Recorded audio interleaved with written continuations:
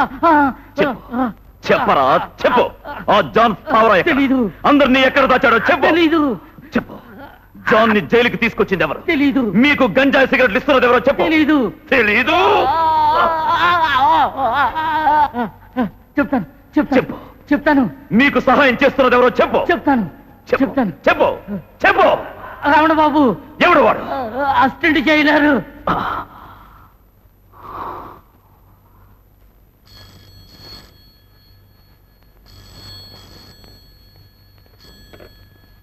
Hello Ramana Babu speaking నేను జాన్ని మాట్లాడుతున్నాను మీరా? ఇంటికి ఫోన్ చేయొద్దని చెప్పాను కదా సార్. అవసరం వచ్చింది. రేపు మా అన్నయ్యని కలుసుకోవాలి. వద్దు సార్ చాలా రిస్క్ సార్. ఈ కేసు విషయం తేల్చడానికి డిఐజీ గారు విక్రమ్ తీసుకొచ్చారట. ఎవడా విక్రమ్? ఇంతకుముందు ఎస్పీగా పనిచేసేవాడు. చాలా అసాధ్యుడు. చిన్న క్లూ దొరికిన ఇట్టే పట్టేస్తాడు. ఇవాళ జైలుకి వచ్చి మీ మనిషిని ఒకరిని తీసుకెళ్ళాడట. నాకు భయం వేస్తుంది. అందుకే సార్ చెప్తున్నాను. మీరు జైలుకి రావద్దు. నా ఉద్యోగం పోతుంది. మీకు కూడా డేంజర్ సార్ ముఖ్యమైన విషయం అయితే మెసేజ్ ఇవ్వండి. నేను వెళ్ళి మీ అన్నకి చెప్తాను. సరే నువ్వు వెంటనే మా స్థావరానికి రా. ఎలా వస్తాను సార్? మీరు ఉండేది ఎక్కడో నాకు తెలియదు ఏ నాటకం ఆడుతున్నావా? మేము ఉండే చోటు నీకు తెలీదు? అయ్యో నిజంగా నాకు తెలియదు దేవుడి తోడు.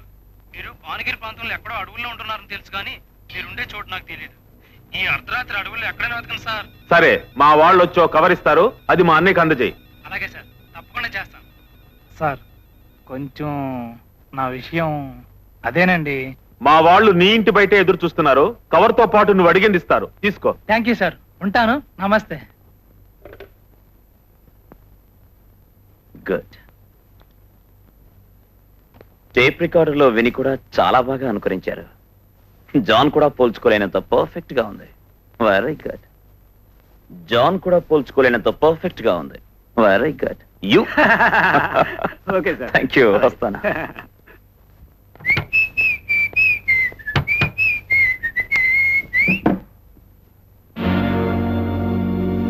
You are under arrest what is this I also sub inspector of police sorry brother తప్పులు చేస్తే చేసావు గానీ విక్రమ్ వచ్చిన తర్వాత నేను జాగ్రత్త పడి ఉండాల్సింది. ఇట్స్ టూ లైట్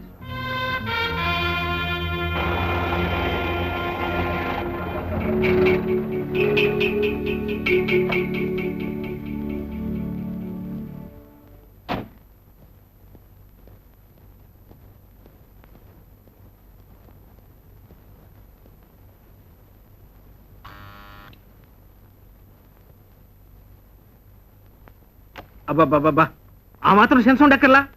ఎవరయ్యా నువ్వు? అర్ధరాత్రి గాడు ఏమిటో బెల్ కొట్టం ఏదో మహా ప్రళయం ముంచుకొచ్చినట్టు. Sorry to trouble you sir నేను అర్జెంట్ ఇన్ఫర్మేషన్ కోసం వచ్చాను. ఇంతకీ ఎవరయ్యా నువ్వు? పోలీస్ డిపార్ట్మెంట్ నుంచి వస్తున్నాను సార్ అలాగా. రండి రండి. లోపల రండి. కూర్చోండి. ప్లీజ్. నాకు ముందు ఇన్ఫర్మేషన్ కావాలి సార్ భానుగిరి అడవుల్లో గాని లేదా ఈ చుట్టుపక్కల అడవుల్లో గాని ఏదైనా ఒక పెద్ద భవనం కోటలాంటిది ఉందా? ఉంది. భానుగిరి ప్రాంతంలోనే ఉంది. అడవి మధ్యలోనే ఉందా? అవును దట్టమైన అడవి మధ్యలోనే ఉంది. ఆ కోట తాలూకు ప్లాను చుట్టుపక్కల వివరాలు రహస్య మార్గాలు వాటి గురించి ఏమైనా? ఐఎమ్ సారీ సార్ అంతకు మించి నాకేం వివరాలు తెలియదు. మీరు హైదరాబాద్ ఆర్కియాలజీ డిపార్ట్మెంట్కి వెళ్తే మరికొన్ని వివరాలు తెలియవచ్చు నాకు అంత టైం లేదు. వెంటనే తెలియాలి. అన్నట్టు ఆ కోటలో చాలా ఏళ్ళుగా పూజారిగా పనిచేసిన ఒక ఆయన ఉన్నాడు. ఆయన పేరు సీతారాం శాస్త్రి. ఆయనకేమో తెలిసేమో? ఇప్పుడు ఆయన ఎక్కడున్నారు శ్రీకాకుళం జిల్లాలో బారు అని ఒక ఊరుంది. అక్కడ ఉంటున్నట్టుగా తెలిసింది. థ్యాంక్ యూ సార్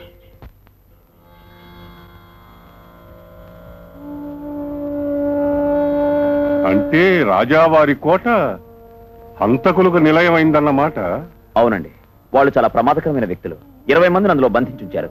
వాళ్ళు ఏ పరిస్థితిలో ఉన్నారో నాకు తెలియదు నేను ఆ కోటకు చేరుకుని రేపు ఉదయం లోపల వాళ్ళని విడిపించాలి. అందుకే తొందరపడుతున్నాను. ఒక్కడివి? పైగా వాళ్ళు హంతకులు చాలా మంది ఉన్నారన్నావు. వెళ్ళి సాధించగలవా? ధైర్యం ఉంది. నమ్మకం ఉంది. నీ దీక్ష పట్టుదల చూస్తూ ఉంటే నీ మీద గౌరవం కలుగుతోంది. నీకేం కావాలో అడుగు. తప్పకుండా సహాయం చేస్తాను. ఎటు వెళ్తే ఆ కోటకు నేను తొందరగా చేరుకోగలను. ఎన్ని ప్రవేశ మార్గాలున్నాయి? ఆ కోట లోపల స్వరూపం గురించి అన్ని వివరంగా చెప్పండి. దానికి ప్రధానంగా నాలుగు దారులున్నాయి. నేరుగా వెళ్ళే దారులు కాదు సార్. అలా వెళ్తే చాలా ప్రమాదం. ఎవరికంటా పడకుండా రహస్యంగా అక్కడికి చేరుకోవడానికి ఏదైనా మార్గం ఉందా? ఉంది. అది వందేళ్ళ క్రితం కట్టిన దారి. అది ఇప్పుడు వాడుకలో లేదు. అది మూసుకుపోయిందో పూడుకుపోయిందో తెలియదు పైగా దాని ముఖద్వారం అడవి మధ్యలో ఉంది. అటుగా వెళితే ఇంకా ప్రమాదమేమో? ఆ, పర్వాలేదు. అలాంటిదే నాకు కావాలి. ఆ రహస్య మార్గం గురించి ఆ కోట గురించి అన్ని వివరంగా చెప్పండి. సరే చెప్తాను విను.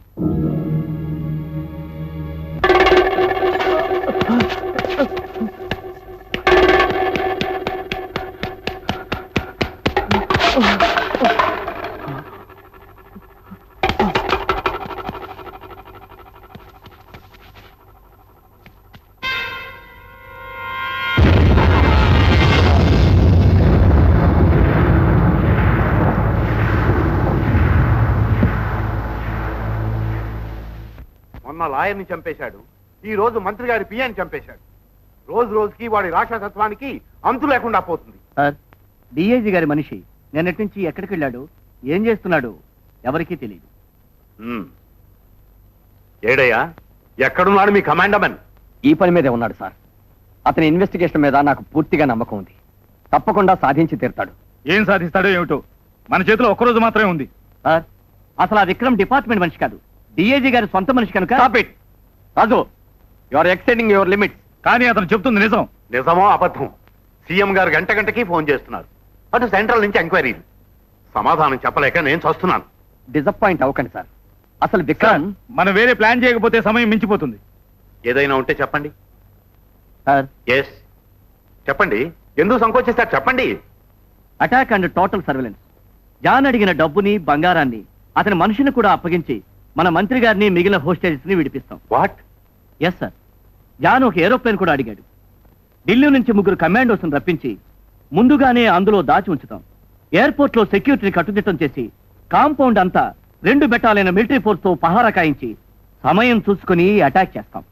జాన్ డబ్బుతో బంగారంతో తన మనుషులతో సహా సరెండర్ అయి తీర్తాడు. ఇదేదో బాగున్నట్టుందే మనం ఇలా ప్రొసీడ్ అవుదాం. మాటలతో చెప్పినంత తేలిక కాదు సార్ అది. పైగా చాలా ప్రమాదం కూడా. మిస్టర్ భరద్వాజ! రామ్ కుమార్ ఎస్పీ రాజు చెప్పిన ప్లాన్ ప్రకారం అన్ని ఏర్పాట్లు చేయండి. ఈలోగా రిజర్వ్ బ్యాంక్ గవర్నర్తో మాట్లాడి నేను ఒప్పిస్తాను. My dear young man keep it up. Thank you sir. Mister Bharadwaj మీరు ఆ విక్రమం తప్పుకోమని చెప్పండి. అతని సహాయం మనకు అక్కర్లేదు.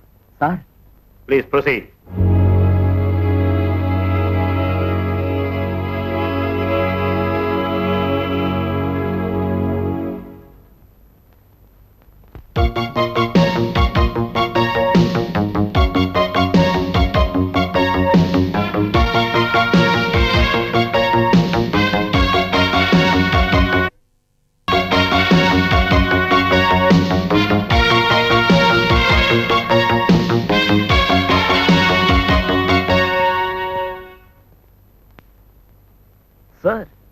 మీరెప్పుడు వచ్చారు సార్? ఇక నువ్వు ప్రాణాలుగా తెగించాల్సిన అవసరం లేదు విక్రమ్. డిపార్ట్మెంట్ వేరే ఆపరేషన్ టేకప్ చేసింది. సార్? ఎస్ ఎస్పీ రాజు ఇచ్చిన ప్లాన్ హోమ్ మినిస్టర్ ఓకే చేశారు. జాన్ అడిగిన డబ్బుని బంగారాన్ని అతనికి ఇచ్చేసి కేంద్ర మంత్రి గారిని ఇతర హోస్టేజెస్ని విడిపిస్తారు. ఆ తర్వాత మిలిటరీ ఫోర్స్ని రంగంలోకి దింపి కిడ్నాపర్స్ను చుట్టుముట్టి వాళ్ళని అరెస్ట్ చేస్తారు. నో సార్ ఆ జాన్ని చాలా తక్కువగా అంచనా వేస్తున్నారు. అడిగినవన్నీ ఇవ్వగానే మంత్రి గారిని విడిచిపెట్టేస్తాడని ఏమిటి నమ్మకం? సపోజ్ తుపాకీ గురిపెట్టి మంత్రి గారిని తనతో పాటు ఇంకో దేశానికి తీసుకెళ్తే ఏం చేయగలరు? ఆగో. ఎక్కడికి వెళుతున్నావు తీసుకున్న బాధ్యతని పూర్తి చేయడానికి. ఆపరేషన్ నుంచి నిన్ను తప్పించమని హోమ్ మినిస్టర్ గారు ఆదేశించారు. అందుకే నిన్ను వెళ్ళొద్దని నేను చెప్తున్నాను. క్షమించండి సార్. మీరే నన్ను హాస్టేజెస్ను విడిపించి తీసుకురమ్మని కోరారు. ఇప్పుడు మీరే వద్దంటున్నారు. మీ ఆజ్ఞ శిరస వహించడానికి నేను మీ దగ్గర పనిచేయడం లేదు. ఇప్పుడు నేను చేస్తున్నది పోలీస్ డిపార్ట్మెంట్ కోసము కాదు.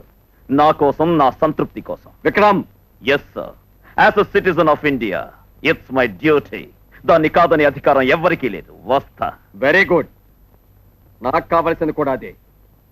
చూడు విక్రమ్ ఒక పోలీస్ అధికారిగా ఈ పిస్టల్ నీకు ఇవ్వటం చట్టరీత్యా నేరం అవుతుంది కానీ న్యాయం హర్షిస్తుంది. ఇది నీ దగ్గర జాగ్రత్తగా ఉంచుకో. అవసరానికి ఉపయోగపడుతుంది.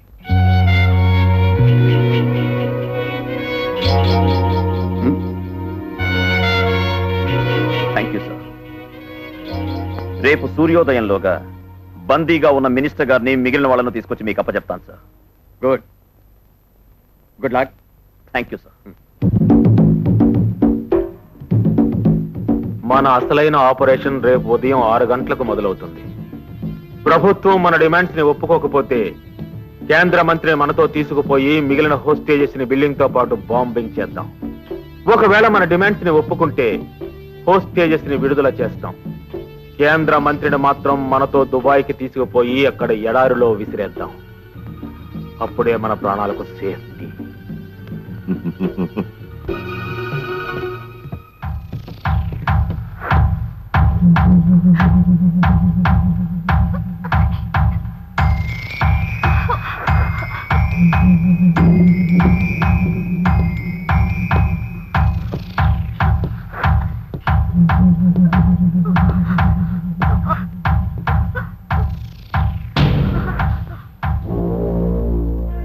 వారిని చంపాలని వచ్చావు? ఒక్కొక్కరిని చంపుతూ చిత్రహింసలు చేసే కంటే మమ్మల్ని అందరినీ ఒకేసారి చంపాయి. మీ ప్రాణాలతో బిజినెస్ చేయగలను గాని మీ శవాలను నేనేం చేసుకుంటాను? పదండి మంత్రి గారు. బాబు! ఈ క్షణం నుంచి మీకు స్పెషల్ ట్రీట్మెంట్. ఎంతైనా మంత్రి గారు కదా